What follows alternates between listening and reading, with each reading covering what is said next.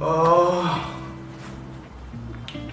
I love the mountains in the North India. Also, there's a beautiful place in the mountains uh, in Japan called Niseko. And for the beaches, I I, uh, I love uh, the beaches in Australia and Goa. I, I, I've not done very filmy stuff, so I don't have any uh, my own favorite dialogues. Uh, but I do have uh, a lot of favorite dialogues from other movies and stuff like that. So there was a movie called The Pursuit of Happyness, and uh, where Will Smith's character tells Jaden Smith's character, "Don't do something," and the kid says, "Okay," and then Will Smith. Uh, uh, changes his stance and tells his son, Don't let anybody ever tell you you can't do something. People can't do something, they want to tell you you can't do it.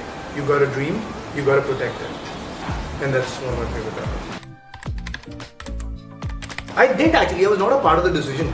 Uh, uh, I was told by my wife, I was away on a shoot. So this is, uh, she was actually with one of her friends who had way too many pets and he had to get rid of her because everyone was jealous of the little baby here and uh, so so so my wife uh, kind of fell in love with her so she told me are you going to be okay if i get a pet home then before i could answer she was like okay actually don't bother answering because i've already got him so that's how she came into our lives